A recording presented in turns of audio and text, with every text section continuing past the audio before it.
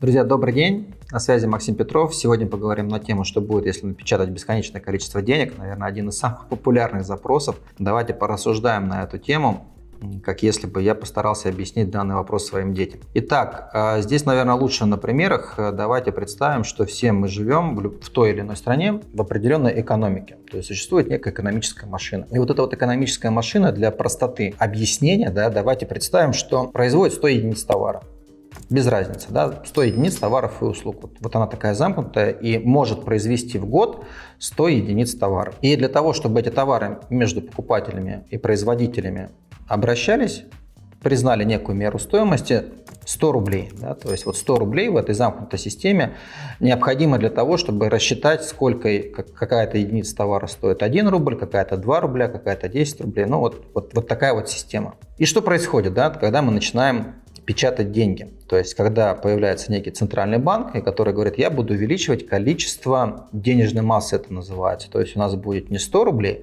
а у нас будет, допустим, 110 рублей. Но при этом производительность экономики, она растет очень медленно. И то есть, соответствующее количество товара на 20 не увеличится. Ну, то есть, не будет пропорционального увеличения количество произведенных единиц товара. То есть товаров у нас осталось 100 штук, денег у нас вместо 100 рублей стало 1000 рублей. Что мы в этом случае получаем? Что для того, чтобы производились расчеты, цена за единицу товара непосредственно будет расти. И когда люди говорят о том, что, ну, в принципе, денег можем же напечатать сколько угодно много, да, для того, чтобы стимулировать потребление, чтобы стимулировать экономику, мы придем к тому, что цена на товар начинает расти очень быстро. И вот этот вот рост цены на товар называется инфляция.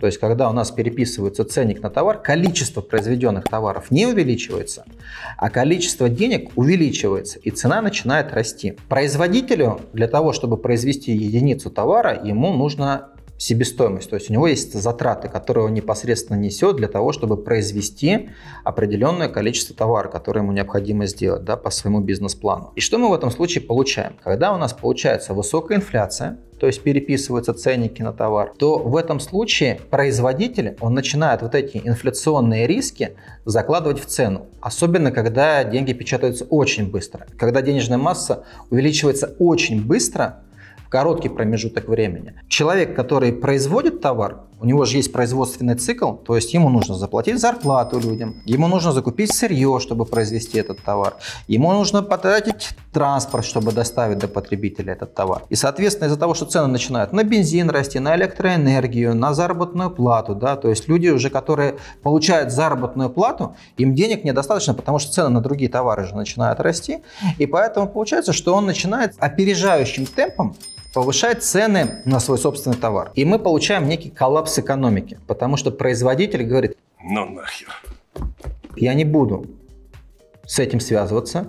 Я не могу прогнозировать, как у меня вырастет себестоимость через год. Я не понимаю, сколько еще денег будет напечатано. Я не понимаю, когда это прекратится. И вопрос тогда, а зачем мне всем этим заниматься? Да, то есть я ничего делать не буду, потому что у меня очень высокие риски. И он сворачивает производство. И первым, кто начинает сворачивать производство, производство сворачивают те, у кого низкая маржинальность, то есть у кого наценка не очень высокая.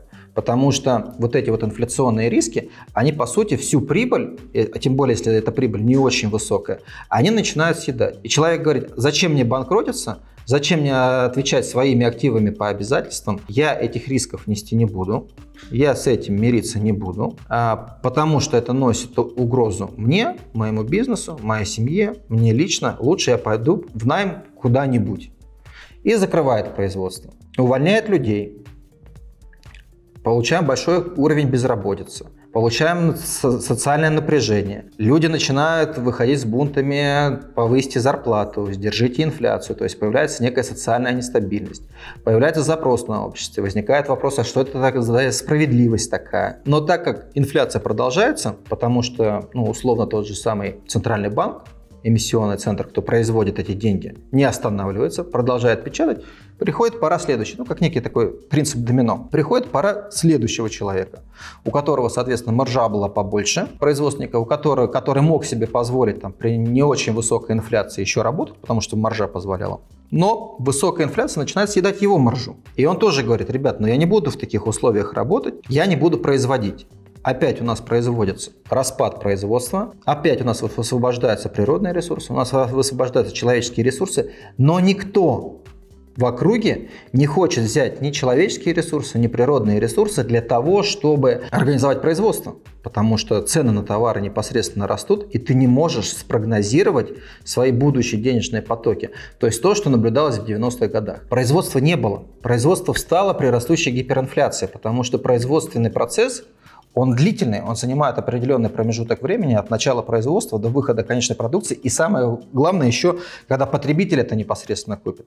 А у нас же безработица увеличилась. Безработица увеличилась, потому что предыдущий производитель уволил людей, люди безработные, они не тратят. И даже вот эти вот, кто жил на высокой марже, у них количество покупателей уменьшилось. Они не покупают. И он вынужден снижать цену, уменьшать свою маржу. А снизу еще инфляция поддавливает. И он схлопывается, банкротится, закрывает производство. Опять безработица увеличивается, производство закрывается. И кто помнит 90-е годы, весь бизнес к чему свелся? Купи-продай. То есть производств не было. Покупали, продавали какие-то готовые товары, был бартер, потому что проще было рассчитаться конкретными товарами.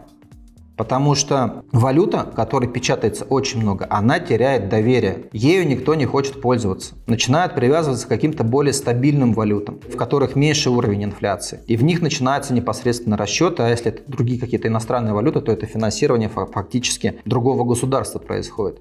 И поэтому, когда говорят о том, что, ребят, да в чем проблема, Америка может напечатать еще 10 триллионов долларов, нужно понимать, что вот эта вот простая схема, которую я рассказал, она, в принципе, работает глобально. Да? То есть если, соответственно, будет сильно увеличиваться денежная масса, будет высокая инфляция. Высокая инфляция будет приводить к банкротствам предприятий, увеличивать уровень безработицы, падению ВВП, сжатию ВВП.